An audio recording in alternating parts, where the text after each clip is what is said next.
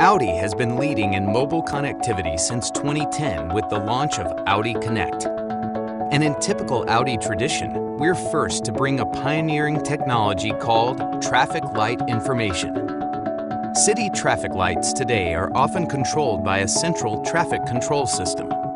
Starting in fall 2016, Audi is partnering with providers to receive this data in select cities.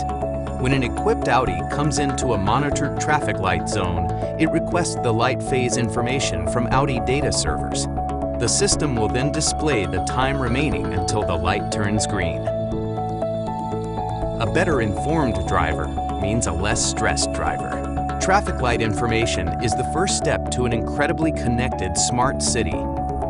Eventually, city grids will not just send, but can receive data from road traffic, getting real-time updates when and where surges are taking place to adjust traffic light times. Imagine no more sitting at a red light when no cross traffic exists in the green lanes. The city could then understand where bottlenecks have formed in real time and adjust the traffic signals to optimize traffic flow. And this is just the beginning. Audi is pioneering a future where cars aren't just sensing their surroundings, but communicating with the city and the other cars on the road.